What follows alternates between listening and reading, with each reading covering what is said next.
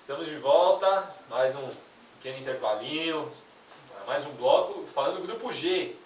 Grupo todo mundo sabe, grupo do Brasil, 7 pontos, Portugal 5, Costa do Marfim 4, Coreia do Norte nenhum ponto, saco de pancada. Falar o que desse grupo G? Grupo sem surpresa, Brasil em primeiro, Portugal em segundo. Não, surpresa teve com a Costa do Marfim, acho que não foi decepção, não decepcionou tanto, mas ficou 4 pontos. Coreia do Norte, que era o, o, os três pontos garantidos de todo mundo, assumiu seu papel. E foi. fez, fez direitinho. É, enquanto o Brasil ela jogou bem. Contra Portugal, ela, você sabia que contra, é, Coreia do Norte e Portugal foi o primeiro jogo passado lá ao vivo na Coreia do Norte? Talvez o último, né? É, o primeiro e o Tá último, né? Eu, Pelo futebol que eles apresentam e vão apresentar pro resto da vida deles. que o imperador falou, ó, tá vendo? Quando tenho razão e vocês não acreditam em mim, tá vendo? É. Primeiro jogo, fala mais, é, primeiro jogo que eles assistiram, explica melhor pra gente. Então, porque lá é tudo, tem uma, é tudo fechado, lá não, não se transmite nada, tudo tem uma, uma certa segurança para transmissão de jogos, transmissão de, de programas, tudo. E o jogo no Brasil, quando foi Brasil e Coreia do Norte, passou duas horas depois do encerramento do jogo.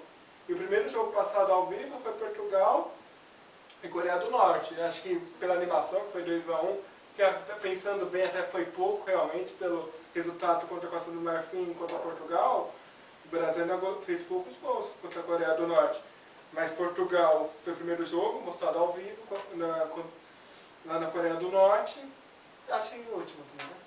É, todos nós estávamos, estamos né, de acordo que a prévia do grupo, o jogo mais difícil era contra a Coreia do Norte, né? O jogo time mais fechado, pelo fato do Brasil não ter aquele cara que pensa, chama a responsabilidade, põe a bola no chão, volta de um lado para o outro, todos já sabíamos que ia ser o gol mais difícil e Coreia do Norte fez um único gol em cima do Brasil. É.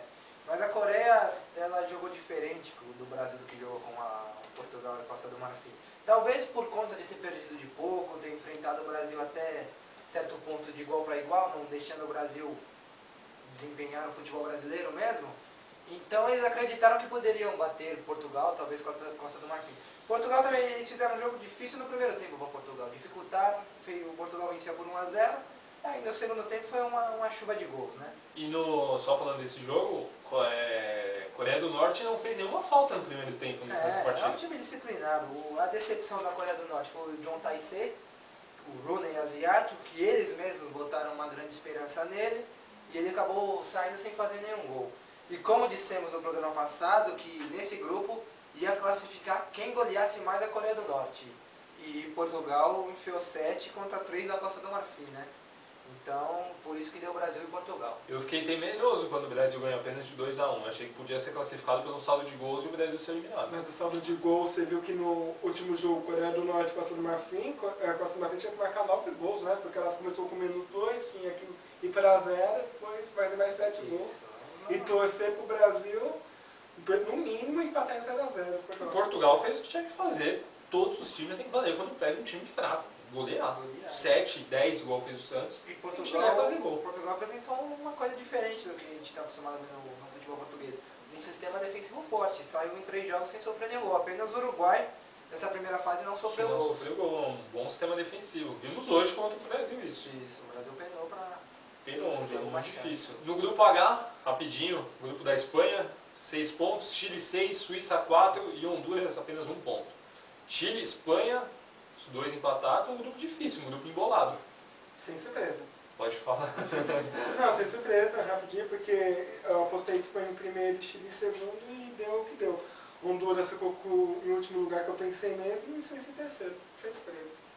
grupo não podemos falar que foi fácil porque a Espanha perdeu para a Suíça. Isso, a Espanha talvez enfrentou a mesma dificuldade que o Brasil. Pegou um time muito retrancado. A Suíça é tão retrancada que ela prefere empatar em 0x0 do que vencer de 1x0. Como aconteceu com Honduras. Ela precisava de uma vitória simples para classificar e preferiu empatar em 0x0. Porque em Honduras você não, não jogar para atacar. Até, até porque se você analisar, eu acho que o jogador mais ofensivo da Suíça é o médio volante.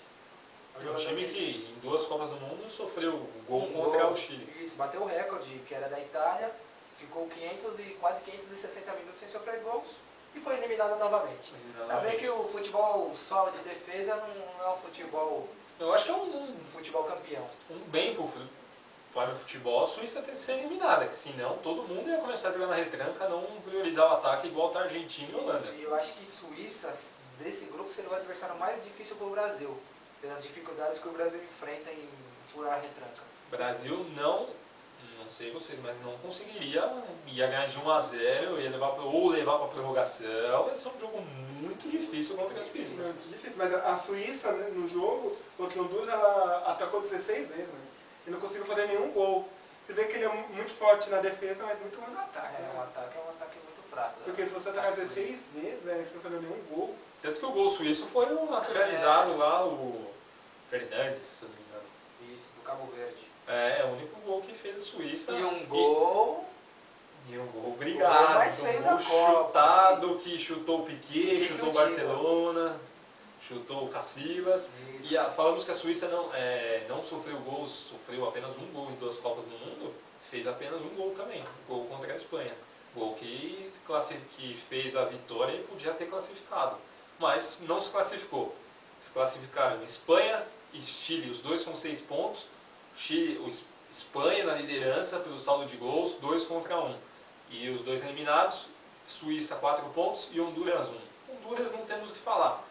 Eu acho que só falar do Soares, Suazo, atacante da Inter de Milão, Isso, Davi Suazo. Davi Suazo, único representante de futebol hondurenhos e que ganhou do Brasil uma vez, não temos muito o que falar. É um futebol semi-amador, igual da Nova Zelândia, um futebol que não tem expressão alguma na América.